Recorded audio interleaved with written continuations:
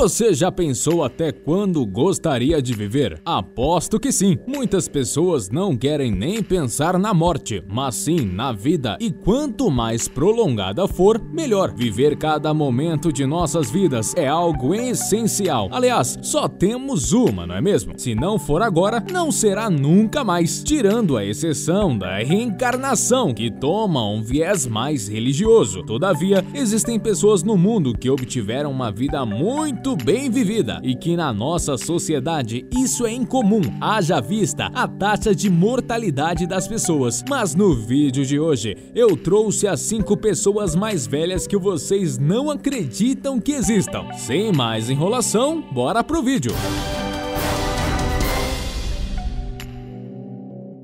Jeanne Calment esta doce velhinha francesa tem nada mais, nada menos que 122 anos e 164 dias. Inclusive, ela é a senhora mais velha da nossa lista. Não são apenas os anos vividos de experiência e ensinamentos que tornaram sua história fascinante. Jane Calment nasceu em 1875 na cidade de Arles. A francesa teve o privilégio de acompanhar a construção da Torre Eiffel. Imaginem só o tanto de pessoas que queriam ter uma oportunidade como essa. Aos 13 anos, ela conheceu Vincent van Gogh. O pintor visitou a loja do tio da garota para comprar materiais. O encontro certamente causou uma impressão forte em Jeanne, que era categórica ao afirmar que Van Gogh era sujo, mal vestido e desagradável. Usava os piores adjetivos possíveis para descrever o renomado pintor que, diga-se de passagem, seria um dos maiores sonhos do público-alvo da arte.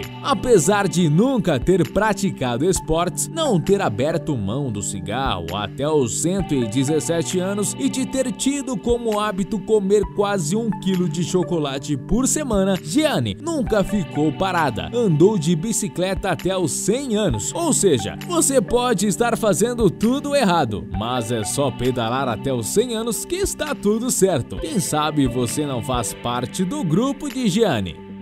Sarah de Hammer Knowles esta senhora estadunidense tem exatos 119 anos e 97 dias de vida. Sarah Knowles foi uma habilidosa costureira. Tinha uma mão que causaria inveja a muitas pessoas com sua delicadeza em costurar. Foi ela quem fez o próprio vestido de noiva. Dona Sarah acompanhou duas guerras mundiais, 23 presidentes dos Estados Unidos e o naufrágio do Titanic. Com toda essa trajetória de vida. Daria um bom filme, não? Mas qual será o segredo para ter uma vida tão longínqua? Segundo Catherine, sua única filha, sua mãe sempre foi uma pessoa muito tranquila e não se irritava com nada. Tal mãe, tal filha. Catherine viveu até os 101 anos. Até eu vou adotar esta receita da tranquilidade. Quem sabe, né?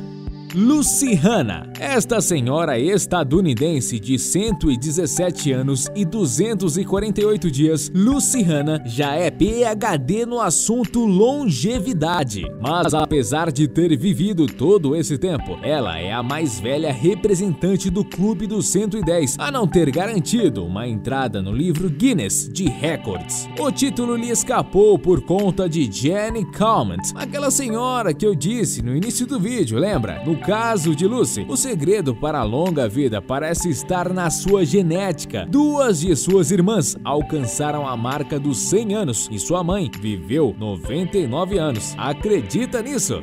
Marie Louise Melior esta canadense tem 117 anos e 230 dias e ela nasceu no ano em que Thomas Edison inventou a luz incandescente, em 1880. Foi também o ano em que Werner von Siemens construiu o primeiro elevador elétrico. Mary Louise Mellier nasceu seis meses depois de Maria Olívia da Silva, a super centenária brasileira que supostamente teria vivido 130 anos. Uma pena, pois teríamos uma brasileira no topo do ranking. A canadense, que passou a maior parte de sua vida na região de Ontário, teve 10 filhos, 85 netos, 80 bisnetos e 61 trinetos e tetranetos.